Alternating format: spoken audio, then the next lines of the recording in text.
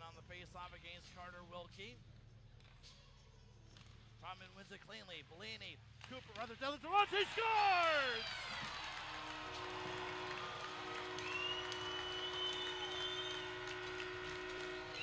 Noah De La Durantaye has broken the tie with his first BCHL goal. Can I say that's just how they grew it up? Exactly.